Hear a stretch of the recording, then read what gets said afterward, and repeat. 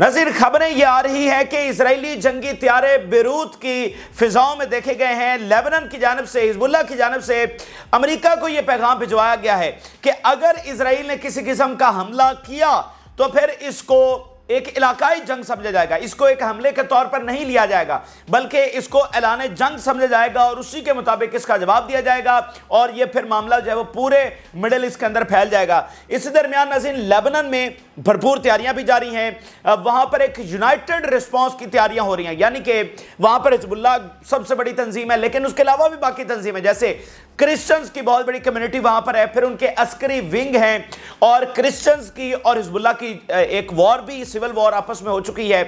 इसके अलावा दरूज कम्युनिटी वही जिसके ऊपर गुलान हाइट्स में हमला हुआ है, जो इसराइल में रहती है, वही दरूज कम्युनिटी जॉर्डन में भी है सीरिया में भी है लेबनान में भी है। तो वो जो लेबनन में दरूस कम्युनिटी है, उन्होंने भरपूर हिमायत का हिजबुल्ला को यकीन दहानी करवाई है कि हम आपके साथ खड़े हैं। अगर इसराइल ने हमला किया तो हम आपको जो है वो पूरी तरह सपोर्ट करेंगे। तो वो एक यूनाइटेड फ्रंट की इन एक तैयारी भी हो रही है। दूसरी तरफ़ जो जंगजू इराक और शाम में वो हाई अलर्ट के ऊपर हैं और बहुत सारे लेबनन के अंदर भी जा रहे हैं। ताकि अगर ग्राउंड इन्वेजन होती है तो बहुत बड़ी एक मैन पावर चाहिए होगी। तो बहुत सारे जंगजू जो हैं, वो इस वक्त लेबनन में भी दाखिल हो रहे हैं। और रूस की जानब से नाजिन, अहम तरीन बयान सामने आया है हमास के हवाले से। रूस ने कहा, एक तो वो पूरी तरह से हमास के साथ खड़ा है और दूसरा, उन्होंने कहा कि हमास को हराना इसराइल के बस की बात नहीं है। तो वो भी आपसे शेयर करेंगे। अमरीकी अड्डों के ऊपर नाजिन हमले तेज हो गए हैं और वेस्ट बैंक में भरपूर लड़ाई की खबरें आ रही हैं, वो भी कोशिश करेंगे कि आपसे शेयर करें। और जब से ये हिजबुल्ला का हमला हुआ है तो इसराइल की जो स्टॉक मार्केट है उसको बहुत नुकसान उठाना पड़ा है, इसराइल की इकॉनमी को बहुत नुकसान उठाना पड़ा है। तो ये तफसीत आपसे शेयर करते हैं। जिन लोगों ने चैनल को सब्सक्राइब नहीं किया, उनसे रिक्वेस्ट करेंगे कि चैनल को ज़रूर सब्सक्राइब कर लें ताकि हर आने वाली वीडियो आप तक पहुँच सके। नजीर इसराइल गुलान हाइट्स पर खबरें ये आ रही हैं कि गुलान हाइट्स पर हमले के बाद इसराइल ने सात मरतबा लेबनन के अंदर बमबारी कर दी है। जी हाँ इसराइल ने अटैक कर दिया। लेबनन के अंदर सात मरतबा बमबारी की गई है। लेकिन ये वो मामूल का रिस्पांस है जो इससे पहले भी आ रहा है। यानी जैसे इसराइल पहले भी लेबनन में अटैक्स कर रहा है हिजबुल्ला के ठिकानों को निशाना बनाने का दावा कर रहा है तो वो सात मरतबा वो अटैक किया गया है। लेकिन जिस रिस्पॉन्स की इसराइल खुद बात कर रहा है कि हार्श रिस्पॉन्स होगा फलाना रिस्पॉन्स होगा वो अभी तक नहीं आया है। मुमकिन तौर पर शायद नितनयाहू की वापसी की मतलब जब वो पहुँचे तो उसकी तैयारी हो, हो रही है जो भी है। लेकिन अभी बड़ी खबर ये आ रही है कि इसराइली जंगी त्यारे बिरूत की फिजाओं में जनाब घूम रहे हैं। अब वो पता नहीं वहाँ पर क्या करने गए कोई सर्विलेंस के लिए या कोई अटैक करने गए या अगले घंटों के अंदर खबर आ जाएगी। फ़िलहाल काफ़ी परवाजें उनकी देखी जा सकती है। और इसराइल की जानब से धमकी आमेज बयान अभी भी आ रहे हैं। नितनयाहू का फिर अमेरिका से बयान सामने आया, वो भी आपके सामने रखते हैं। लेकिन चूँकि ये काफ़ी लंबी तफसीत हैं, पहले मेरा ख्याल है कि मैं आपके सामने जो खान यूनस में इस वक्त लड़ाई जारी है वहाँ पर भरपूर नुकसान हुआ है इसराइल को, वो आपसे शेयर कर दूँ। और जो रशिया का स्टेटमेंट सामने आया है, हमास के हवाले से, वो आपसे शेयर कर देता हूँ नजीम खान यूनस में बताया जा रहा है कि काफ़ी ताबूत उठे हैं इसराइल के। इसराइली मीडिया रिपोर्ट कर रहा है number of wounded soldiers were evacuated as a result of battles east of the Khan Younis in the Gaza Strip number of evacuated ये सिर्फ़ खान यूनस की रिपोर्ट है, जहाँ पर ये चार महीनों ने ऑपरेशन किया। और वहाँ से इबरतनाक शिकस्त के साथ निकले, लेकिन अब दोबारा से वहाँ पर घुसे हुए हैं तो वहाँ पर धड़ाधड़ ताबूत इनके निकल रहे हैं। अच्छा आगे नजीन चलते हैं तो रशिया के जो फॉरेन मिनिस्टर हैं, सरजई लेवरोव, जो प्यूटन के बाद दूसरी एक अहम तरीन शख्सियत है, उनकी जानब से बयान सामने आया है। उन्होंने कहा जी eliminating Hamas as the Israeli prime minister want is not realistic जैसा कि नितनयाहू रोज खड़े होकर धमकियाँ लगाता है और कांग्रेस में भी खड़े होकर उसने यही बढ़ के मारी कि हमास को ये कर देंगे, हमास को वो कर देंगे। वो कह रहे हैं कि हमास को हराना नामुमकिन है। ये बहुत बड़ी स्टेटमेंट है। किसी तजियाकार की जानब से नहीं आ रही। ये रशिया का फॉरेन मिनिस्टर कह रहा है कि हमास को हराना नामुमकिन है। तो देखें, ये तो वो लोग हैं ना जो ग्राउंड रियलिटीज को समझते हैं। इनको सारे जंग के डायनेमिक्स पता है। तो अगर उनको यह नज़र आ रहा है कि इसराइल फेल हो चुका है तो दो इंपॉर्टेंट बातें हुई कि इसराइल एज अ शिकस्त खोरदा एंटिटी वो स्टैब्लिश हो चुका है। इसराइल एक कमज़ोर कब्जे के तौर पर स्टैब्लिश हो चुका है। और दूसरा, अगर हमास को हराया नहीं जा सकता तो फिर इसराइल का अंजाम क्या होगा? फिर इसराइल के मंसूबे और अमेरिका के मंसूबे और कुछ हमारे अपने सरकर्दा लीडर मालिक के मंसूबे, वो कैसे पूरे होंगे? तो इसका मतलब इनके सारे प्लान्स के ऊपर पानी फिर गया। तो ये इंपॉर्टेंट चीज़ है। दूसरा उन्होंने कहा in my opinion and many of my colleagues share this point of view अब उनके कोलीग्स में क्या है? चाइना का वज़ीर खारजा। ठीक है, और बाकी it is an unrealistic task to completely destroy an organisation that exist and what has sufficient capabilities and sufficient support including in the Muslim world एक ऐसी तंजीम जिसकी ज़बरदस्त सलाहितें हों और उसको, उसकी सपोर्ट भी हो including in the Muslim world सबसे ज़्यादा सपोर्ट इस वक्त हमास की और फिर चाइना और जिस तरह से रशिया पीछे खड़े हैं, वो कह रहे हैं कि in my point of view and in my colleagues point of view तो उसके कोलीग्स में आप, मैंने आपको बता दिया कि बाकी वो वजरा खारजा की बात कर रहे हैं इसमें चाइना के वजरा खारजा हैं, बाकी हैं तो वो कह रहे हैं इसको हमास को हराना नामुमकिन है। We will continue to help restore the Palestinian unity this is very very important line कि हम फलस्तीन का जो इतिहाद है, उसके ऊपर काम करना जारी रखेंगे।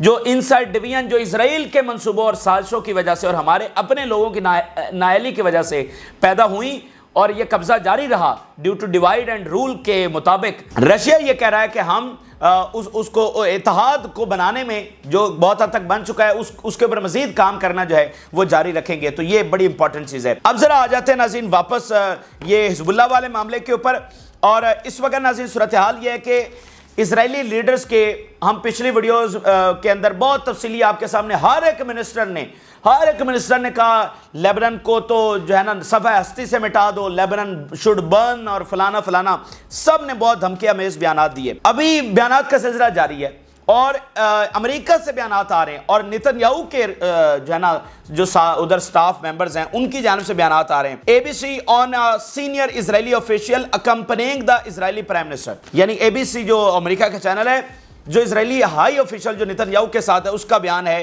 Hezbollah will pay a heavy price ये अभी का ताज़ा तरीन बयान है। Hezbollah like Hamas and other Iranian proxies deliberately target civilians साथ साथ वो एक पूरा बयानिया जो है, वो भी बनाया जा रहा है कि देखो ये हमास की तरह ये सारे दहशतगर्द और ये बच्चों के ऊपर अटैक करते हैं। अंदाज़ा करें कि बयानिया का घड़ा जा रहा है? हमास और हिजबुल्ला जो है वो बच्चों के ऊपर अटैक करते हैं। बहरल तो इसी के दरमियान ये सारा कुछ हो रहा है जैसे मैंने इंट्रोडक्शन में आपको बताया कि इसराइली वॉर प्लेन्स बेरूत की फ़िज़ाओं में हैं और देखते हैं कि वहाँ पर क्या रिस्पॉन्स आता है। लेकिन मेनली जो इस वक्त इसराइल की सूरत हाल समझ आ रही है या इसराइल का मीडिया अगर हम देखें तो वहाँ पर यही लग रहा है कि जैसे नितनयाहू की वापसी का इंतज़ार किया जा रहा है। वो वहाँ पर देख सारी चीज़ें मॉनिटर तो कर रहा है और धमकियाँ भी दे रहा है, ये करेंगे, वो करेंगे। लेकिन ये अब वाजे हो रहा है कि जब वो वापस आएगा तो फौरी एक मीटिंग भी शेड्यूल हो चुकी है। जो ही आज वो पहुंचेगा बरोज एतवार तो फिर मीटिंग होगी और उसके बाद जो है वो आ, सामने आएगा कि क्या करना है उन्होंने। लेकिन यहाँ पर नाजिन दो बातें बड़ी इंपॉर्टेंट हैं। दो बड़े अहम एंगल मैं आपके सामने रखना चाहता हूँ। पहली बात तो नाजिन ये है कि इस वक्त दुनिया की जो मुनाफ्त है वो उरूज के ऊपर है। दुनिया की मुनाफ्त ने सारी हदें जो है ना क्रॉस कर दी हैं। उसकी वजह नाजिन यह है कि फलस्तीन के अंदर गजा के अंदर जहाँ पर थाउजेंड्स ऑफ़ चिल्ड्रन शहीद हो चुके हैं। यानी टोटल अगर हम वहाँ पर देखें इक्कीस हज़ार कम से कम मिसिंग है। और ये इक्कीस हज़ार की रिपोर्ट आज से डेढ़ माह पहले की है। इक्कीस हज़ार मिसेंगी पंद्रह हज़ार से ज़्यादा शहीद हैं। तो ये कितने बन जाते हैं? पैंतीस छत्तीस हज़ार कम से कम बनते हैं। ए, एक डेढ़ महीना रिपोर्ट पुरानी के मुताबिक। और यहाँ पर कितने मारेंगे गो कि कोई भी सिविलियन जो है उसकी कोई जस्टिफिकेशन नहीं होती लेकिन जरा आप कंपैरिजन तो करें। और इसका जिम्मेदार कौन है? अच्छा तो वहाँ पर छत्तीस हज़ार बच्चे शहीद हो गए। तो दुनिया को कोई फ़र्क नहीं पड़ रहा। किसी किसी ने कोई मजम्मत नहीं की। और अभी आप देखें तो यूरोप के आँसू ही खत्म नहीं हो रहे। जर्मनी क्या, फ्रांस क्या, बरतानिया क्या, अमेरिका क्या, हर एक मुल्क से जो है वो कंडेमनेशन आ रही है। और पूरी सपोर्ट के Israel has the right to defend itself Israel फलाना इसराइल फलाना। तो उनका जो है दुख खत्म ही नहीं हो रहा इस बात के ऊपर। लेकिन वहाँ, जहाँ पर टोटल दो लाख शहादतें हो चुकी हैं, वहाँ पर दुनिया के आँख और कान सब बंद हैं। तो इसी के ऊपर अल जजीरा ने आज लिखा है, वो मैं आपसे शेयर कर दूँ। We have normalised Palestinian death के जो फलस्तीनी शहादतें हैं, फलस्तीनियों की जो मौत है, वो नॉर्मलाइज बना दी गई है। And what Israel basically is suggesting here is that the status quo ought to be an environment in which अब जरा देखिए कि इसराइल बेसिकली कौन सा स्टेटस को इस वक्त लागू करना चाह रहा है। Israel can slaughter Palestinian by thousands कि इसराइल को यह हक हासिल हो कि वो हज़ारों फलस्तीनियों को स्लॉटर कर दे। With complete and total immunity उसको मुकम्मल इस्तना यहाँ पर हासिल हो but if Israelis get hurt or killed then this is a crisis and this is ground for spreading the war लेकिन अगर इसी दरमियान कोई इसराइली मारा जाता है या हर्ट हो जाता है तो फिर ये इसको क्राइसिस जो है वो डिक्लेयर किया जाए कि ये तो बहुत बड़ा वाक्य हो गया यहाँ पर इसराइली जो है वो मारे गए ये तो बहुत बड़ा क्राइसिस और बहरान पैदा हो गया है। ये तो बड़ी खतरनाक चीज़ हो गई है। और अब ये बेस है हमारे लिए हमारे लिए ग्राउंड बन गई है कि हम स्प्रेड वॉर कर सके। ये अब हमारे पास जवाब आ गया कि हम सबके खिलाफ जंग छेड़ दें। कि ये वाला वो स्टेटस को जो है वो कायम करने की कोशिश कर रहा है, जो किसी हद तक आपके सामने कायम है भी सही कि फलस्तीनियों की डेथ नॉर्मलाइज है। लेकिन यहाँ पर 11 मरे और वो भी दरूज कम्युनिटी उसकी बैकग्राउंड आपको पता है। लेकिन वहाँ पर आप देख लें, दुनिया में हंगामा मच गया है। International community if it were seriously interested in de-escalation must not allow a status quo अगर इंटरनेशनल कम्युनिटी सीरियस होती डी एस्केलेशन में और जंग रोकने में, उसको ये वाला स्टेटस को अलाउ नहीं करना चाहिए था in which Palestinian death is treated as normal and Israel has complete and total immunity के जिसमें फलस्तीनियों की डेथ की कोई परवाह ना हो लेकिन अगर इसराइल की डेथ हो जाए इसराइली की कोई मारा जाए तो फिर उसके ऊपर जाए वो हंगामा और क्राइसिस खड़ा हो जाए और कहा जाए कि अब अब तो जंग छिड़ने वाली है और इसराइल क्या है कि ये अब वो देखे ना कल से उनके बयान के ऑल रेड लाइंस क्रॉस हो गई हैं ये फलाना ढिमका ये हैवी पे प्राइस जो है वो पे करेंगे भाई तो तो अच्छा 11 की या 20 की वो हैवी प्राइस पे करेंगे। तो दो लाख की हैवी प्राइस कौन पे करेगा? क्या फलस्तीनियों का खून इतना सस्ता है कि तुम बहाते जाओ, वहाँ पर खून की नदियाँ बहा दो और तुम्हें कोई पूछने वाला ना हो? मतलब वो कीड़े मकोड़े हैं, उनको मारते चले जाओ। दो लाख। अब इस बात की गहराई को समझिए। मेरे हिसाब से ये लेबनन की जंग, ये फलानी जंग, ये सेकेंडरी चीज़ें हैं मेरे लिए। मेरे हिसाब से सबसे इंपॉर्टेंट चीज़ ये है, जो फलस्तीनी हर मिनट वहाँ पर मारे जा रहे हैं। अभी भी जब ये डिस्कस हो रहा है कि ये होगा आगे वो होगा ये जंग छिड़ जाएगी वो जंग छिड़ जाएगी वहाँ पर तो एक एक मिनट में फलस्तीनी मर रहे हैं। अभी कुछ देर पहले कुछ देर पहले की बात बता रहा हूँ एक यूनाइटेड नेशन के स्कूल के ऊपर जो कि शेल्टर था उसके ऊपर अटैक किया गया और 40 के करीब फलस्तीनी शहीद हो गए। एक स्कूल के ऊपर जिनमें मेजोरिटी बच्चों की थी। तो जब हम ये बात कर रहे हैं दु, यानी दुनिया ये बात कर रही है कि वह वो 11 मारे गए वो 11 मारे गए तो उस उसके बाद यहाँ पर पता नहीं कितने बच्चे मजीद फलस्तीन में शहीद हो गए तो ये देखें, इसराइल क्या कर रहा है? वो डिस्ट्रैक्ट कर रहा है इधर उधर की चीज़ों में उलझाने की कोशिश कर रहा है। वो अपना उधर मिशन वो जारी रखे हुए कि खुराक ना देकर और बम और गोलियाँ बरसाकर डायरेक्ट फलस्तीनियों को गिल करना। तो मेरे हिसाब से प्राइमरी इशू ये है, जो हर मिनट वहाँ पर फलस्तीनी मर रहे हैं, ये वाले सेकेंडरी इशू हैं कि ये आगे क्या होगा और किस तरह का होगा। तो इस चीज़ के ऊपर हमें ध्यान रखना चाहिए और इसको हमेशा हमारी जो डिबेट है उसका हमेशा से ये मुद्दा होना चाहिए। दूसरी नाजिन जो इंपॉर्टेंट बात है, वो ये है कि इसराइल अब क्या फैसला करता है, इसकी बहुत सारी डायमेंशन है। और इसराइल का फैसला तय करेगा कि मिडल ईस्ट में अब राजा कौन है। ये बड़ी इंपॉर्टेंट बात मैं आपको बता रहा हूँ, इसराइल इस वक्त बहुत मुश्किल के अंदर है। वो किस तरह से? देखें, अगर इसराइल इस मौके पर भी जंग नहीं छेड़ता यानी वो खुद कह रहे हैं ना रेड लाइंस क्रॉस हो गई, सारा कुछ हो गया। अगर वो इस मौके के ऊपर भी जंग नहीं छेड़ता तो ये समझ लें कि वो जो हम इक्वेशन की तब्दीली की बात कर रहे हैं कि यहाँ पर ताकत की जो इक्वेशन है, वो बदल चुकी है। यानी यहाँ का इकलौता राजा था इसराइल वो यहाँ पर गुंडा था, बदमाश था, सारा कुछ था।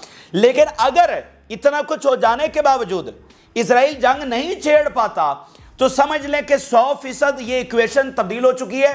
सौ फ़ीसद इसराइल की गुंडागर्दी और बदमाशी खत्म हो चुकी है और सौ फ़ीसद इसराइल इस वक्त खौफजदा है। क्योंकि इसराइल का एक रिकॉर्ड है। अब 2006 की जंग में चले जाएँ। 2006 की जंग में क्या हुआ था? दो चार इन हिजबुल्ला ने इनके फौजी मारे और पकड़े थे तो उन्होंने जंग छेड़ दी। तो इसराइल की जो है ना, वो एस्केलेशन डोमिनेंस के ऊपर बिलीव करता है। उसकी डॉक्टराइन ये है कि अगर किसी ने एक मुक्का मारा तो तुमने चार मुक्के मारने हैं। तो यहाँ पर तो उसके साथ इतना बड़ा मतलब इससे पहले इस तरह का कोई वाक्य नहीं हुआ। तो अगर इतना कुछ होकर और उसके पास अपॉर्चुनिटी भी हो कि वो जवाब भी, बयानिया भी, यूरोप भी कह रहा है, बड़ा जुल्म हो गया फलाना तो उसके बावजूद अगर जंग ना छेड़ सके तो इसका मतलब ये समझ ले कि अब वो जो है ना, पूरी तरह से खौफ ज़्यादा है। जिस खौफ की हम बार बार बातें कर रहे हैं, रिपोर्ट्स आपके सामने कर दिखा रहे हैं, इसराइल के अंदर चीखें आपको सुना रहे हैं यानी अब वो 100 परसेंट वो इक्वेशन जो है वो कायम हो चुकी है और इसराइल जो है वो पूरी तरह से खौफजदा है। इसी बात को लेबनन के अंदर जो ईरान के एम्बेसडर हैं, उन्होंने बयान किया है। Iranian ambassador to Lebanon we do not expect war and consider its chances to be very slim due to the established power equations Iran में जो एम्बेसडर हैं, वो ये कह रहे हैं कि हम ये समझ रहे हैं कि ये जंग नहीं होगी। चांसेस आर वेरी स्लिम लेकिन क्यों नहीं होगी? Due to the power equation that is established अब वो पावर इक्वेशन क्या है? कि हिजबुल्ला का अपर हैंड है। हिजबुल्ला ने वो सलाहियतें हासिल कर ली हैं जो आज तक मिडल में किसी के पास नहीं थी। हिजबुल्ला के पास ये पावर है कि वो इसराइली शहरों को खंडर बना के रख देगी। ठीक है? तो ये एक पावर इक्वेशन इस वक्त तब्दील हो चुकी है। अब देखें क्या पिछहत्तर साल तारीख में इसराइल के अंदर कोई इस तरह से स्ट्राइक कर सका है जैसे आज हिजबुल्ला कर रही है नौ महीनों से? कभी इसराइली अपने घरों से निकले हैं, कभी मुहाजर बने हैं, कभी भी नहीं हुआ तो आज वो एक पावर इक्वेशन बदल चुकी है। यमन आ चुका है कितनी बड़ी पावर के साथ? तो मिडिल ईस्ट की ताकत का सेंटर जो है वो बदल चुका है। तो इसलिए वो कह रहे हैं कि ये जो है वो हमला नहीं करेंगे? तो अगर ये वाक्यता नहीं करेंगे ऑल आउट वॉर की हम बात करें छोटा मोटा हमला हो जाता है, जैसे यमन पर हुआ, वो वो तो फिर समय लेके ये डर गए हैं। वो, भाई, इतना तो उन्होंने करना ही करना है। अगर इतना भी नहीं करेंगे तो पीछे क्या रह जाएगा? चुप करके बैठ जाए। वो मैटर नहीं करता। ऑल आउट जंग मैटर करती है, क्योंकि माजी में इन्होंने ऐसे ही जंगे छेड़ी हैं। छोटी छोटी बातों के ऊपर जंगे छेड़ी हैं। तो ये इंपॉर्टेंट बात है। अब उस जंग का मतलब ऑल आउट वॉर छिड़ जाती है। उसमें कौन फाते होगा? क्या होगा? उस डिबेट को अभी हम छेड़ नहीं रहे। उसकी बहुत सारी रिपोर्ट्स हम माजी में भी आपके सामने रख चुके हैं। जब जंग छिड़ेगी तो भी बहुत सारी चीज़ें होती रहेंगी। लेकिन ये जो इंपॉर्टेंट पॉइंट आ चुका है कि इसराइल जो फैसला करेगा, वो तय करेगा कि मिडल का राजा कौन है। इसको अल जजीरा ने भी लिखा है will Israel struck to the unwritten rules of the engagement and choose a military target as we have seen in the past ten months के इसराइल क्या वही करेगा जो पिछले दस महीनों में कर रहा है? कि एक खास इंगेजमेंट रूल के मुताबिक ही वो अटैक कर रहा है। और will the response will be different या फिर के उसका रिस्पॉन्स डिफरेंट होगा? Triggering a retaliation from Hezbollah के हिजबुल्ला को जो है वो रिस्पॉन्स की तरफ़ जाए। And therefore widening this conflict ऐसा वो हमला कर दे कि हिजबुल्ला जैसे कह रही है कि हम रिटेलिएट करेंगे और फिर वो इलाकाई जंग की तरफ़ मामला चले जाए। We are at a tipping point in this confrontation तो ये जो बीच के घंटे इस वक्त चल रहे हैं this is the tipping point कि अब आगे क्या होता है। ये इसराइल का जो रिस्पॉन्स है, वो तय करेगा। अच्छा ये दो इंपॉर्टेंट चीज़ें मैंने आपके सामने रखी। आगे नजी चलते हैं। तो हिजबुल्ला की जानब से मैसेज भिजवाया गया है अमेरिका को। और हिजबुल्ला ने कहा है कि अगर अटैक किया गया हमारे ऊपर तो ये नॉर्मल अटैक नहीं समझा जाएगा। यानी मिसाल के तौर पर जैसे हुदैदा पे अटैक हुआ ना, एक डिफरेंट टाइप का अटैक था। तो यमन ने वॉर डिक्लेयर कर दी। तो हिजबुल्ला कह रहा है कि हमारे ऊपर मतलब बिरूद के ऊपर अटैक हो गया या इधर उधर कहीं भी अटैक हुआ, इसके जवाब में जो दरूज में वाक़ हुआ है, जो कि खुद इसराइल के आयरन डोम की वजह से हुआ है, इसके जवाब में अगर कोई हमला किया तो फिर इसको हम ऐलान जंग समझेंगे। ये अमेरिका को उन्होंने मैसेज भिजवाया। Hezbollah sent a message to USA any Israeli adventure would be met with a dizzying response even if the price is to start an all out war तो आप देख रहे हैं कि इस बुल्ला का पलटा भारी है। उनको तो कई धमकियाँ दी जा चुकी हैं, लेकिन उनके हमले तो नहीं रुके। और इस वक्त भी वो कह रहे हैं कि बेशक हमारे हमले की वजह से अगर इलाकाई जंग भी छिड़ गई तो हम तैयार हैं। हिजबुल्ला कह रही है, हम हम भरपूर जवाब देंगे, अगर बाद में इलाकाई जंग भी छिड़ जाए तो हम तो पीछे नहीं हट रहे। क्योंकि हिजबुल्ला तो वैसे भी एक खास स्ट्रेटजी के तहत आगे से आगे बढ़ रही है। वो तिल अवीब के करीब पहुँच रही है तो इलाकाई जंग तो उसने छेड़नी छेड़नी थी। तो वो तो अपनी तैयारी करके बैठी हुई है। आगे चलते हैं नाजीन इसराइल की इकॉनमी के हवाले से खबर आई है कि उनकी स्टॉक मार्केट जो है, वो बहुत डिक्लाइन कर गई है। A sharp decline in stock prices on Israeli stock exchange amid fears of the outbreak of the war in the north तो उनका इकोनॉमिक लॉस जो है वो बहुत शदीद हो रहा है, इतना शदीद जो कभी नहीं हुआ और उनकी जो, है ना स्टॉक मार्केट वो इस तरह डिक्लाइन कर गई आगे नज़दीक चलते हैं तो लेबनन के अंदर इस वक्त क्या हो रहा है? जो जहाँ पर हिजबुल्ला तैयारी कर रही है, जंग जो पहुँच रहे हैं, असलिया को जो है आगे पीछे ट्रांसफ़र किया जा रहा है, पूरी तैयारी हो रही है। यहीं पर एक यूनाइटेड रिस्पॉन्स की बात हो रही है। देखें, ये जंग होगी तो क्या सिर्फ़ हिजबुल्ला लड़ेगी या जो नेशनल आर्मी है वो भी लड़ेगी? या सिर्फ़ हिजबुल्ला लड़ेगी या बाकी जो कम्युनिटीज हैं, बाकी जो तंजीमें क्या वो भी साथ खड़ी होंगी? तो इसके ऊपर बात हो रही है। Lebanon Jumblatt urges unity as Israel tries to sow discord अब ये दरूस कम्युनिटी के लीडर हैं, उन्होंने ये बात की है और उन्होंने भरपूर यकीन दहानी करवाई हिजबुल्ला को कि अगर इसराइल अटैक करेगा तो हम पूरी तरह से हिजबुल्ला के साथ हैं और हम लेबनन को डिफेंड करेंगे। हम पूरी तरह से इस जंग में इसराइल के खिलाफ लड़ेंगे और हिजबुल्ला के साथ लड़ेंगे। यानी इस वक्त इसराइल एक और चलाकी भी खे, खेल रहा है ना कि ये दरूज कम्युनिटी के ऊपर अटैक हुआ तो वो तमाम दरूज कम्युनिटी को जो है ना इंगेज करना चाह रहा है कि वो लेबनन वाली दरूज कम्युनिटी भी हिजबुल्ला खिलाफ हो जाए सीरिया में भी जॉर्डन में भी। लेकिन ये इसराइल वाली दरूज कम्युनिटी अलग है इनको सिटीजनशिप भी मिलती है ये इसराइली फौज में सर्व भी करते हैं। तो ये इसलिए बाकी दरूज कम्युनिटी इस बात को अच्छे से समझ रहे हैं। तो इनका ये खेल जो है यहाँ पर कामयाब नहीं हो रहा है। अब मैं आपके सामने ईरान के जो फॉरेन मिनिस्टर हैं, उनका बयान रखने जा रहा हूँ।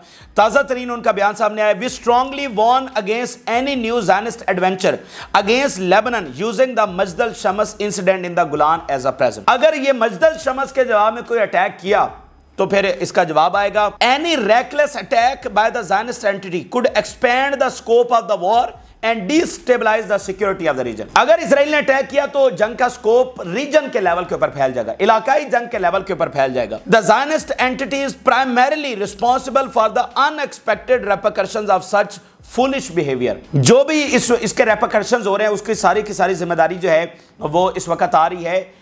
इसराइल के ऊपर। अच्छा अब इसी दरमियान नाजिन क्या हो रहा है कि अमेरिकी बेसिस के ऊपर अटैक बहुत ज़्यादा तेज हो गए हैं। US Conoco occupation base in Syria comes under third attack in 24 four hours ये जनवरी के बाद से अब ये सूरत हाल पैदा हुई है कि एक बेस शाम के अंदर 24 घंटों में तीसरी मरतबा जो है वो अंडर अटैक आई है। तो इस चीज़ को भी लिंक करें कि अगर अमेरिका कह रहा है कि हमने इजाज़त, वो खबरें आ रही कि उन्होंने अप्रूवल दिया है। तो अमेरिका को यह भी पता है कि भाई हमारी बेसिस के ऊपर अटैक बहुत बढ़ जाएँगे। इतने बढ़ जाएँगे कि आज तक उन्होंने विटनेस नहीं किए और वो अपनी बेसिस को डिफेंड नहीं कर सकेंगे। और खास तौर पर जब वहाँ पर इलेक्शन चल रहा है तो वो अमेरिकी इंतजामिया इसको कैसे मतलब फेस करेगी?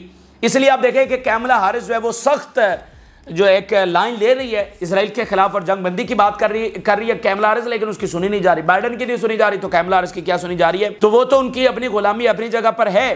लेकिन इसका बात बहुत आगे तक जाएगी। वहाँ पर बहुत रिएक्शन आएगा। अमरीकी अवाम का कि ये आप इसराइल की जंग लड़ रहे हैं और इतना हमारा नुकसान करवा रहे हैं अपने फौजियों का। अच्छा आगे नाजीन चलते हैं तो वेस्ट बैंक की ताज़ा तरीन खबरें जल्दी जल्दी आखिर में आपके सामने रखते हैं। नाजिन वेस्ट बैंक में भरपूर लड़ाई भरपूर तरीके से कन्फ्रंट किया जा रहा है और वहाँ से धड़ाधड़ इसराइली फौज के तबूत निकल रहे हैं। ये अनप्रेसिडेंटेड है। जब से इसराइली आबादियाँ वहाँ पर कायम हुई हैं, ऐसा कोई जो है ना, कभी नहीं देखा गया। अब ज़रा इसकी तफसीत देखिए। Palestinian resistance defends West Bank areas against IOF incursions. Palestinian media reports that several Israeli soldiers were wounded during confrontation with the Palestinian resistance in Balata refugee camp. The Balata refugee camp in Nablus witnessed heavy battles between Palestinian resistance groups and raiding Israeli occupation forces that continued for hours. Israeli फौज आई घंटों तक ये लड़ाई चलती रही लेकिन Palestinian media reported several Israeli soldiers were wounded during the confrontation. इसमें कई एक इजरायली फौजी जो है, वो निशाना बने इसी तरह, जो ज्वाइंट ऑपरेशन है, वो भी जारी हैं, जिसमें बटाला ब्रिगेड है नेबलस ब्रिगेड है, कुदस ब्रिगेड है youth of the revenge and liberation brigade है अलक्सा मटायर ब्रिगेड है। ये तमाम तंजीमें इस वक्त मैदान के अंदर हैं और भरपूर तरीके से जो मजामत कर रही हैं और उनकी गाड़ियों को भी तबाह कर रही हैं, उनके फौजियों को भी मार रही हैं और उनके आबादियों के अंदर घुस कर ऑपरेशन और चेक पॉइंट्स के ऊपर हमले भी जा रही हैं। ये इस वक्त के अहम तरीन और ताज़ा तरीन तफसीत हैं जो आपके साथ शेयर किया हमने आज रोगा करें। जो लोगों ने चैनल को सब्सक्राइब नहीं किया, उनसे रिक्वेस्ट करेंगे चैनल को ज़रूर सब्सक्राइब कर लें ताकि हर आने वाली वीडियो आप तक पहुँच सके। इजाज़ दीजिए। हाफ़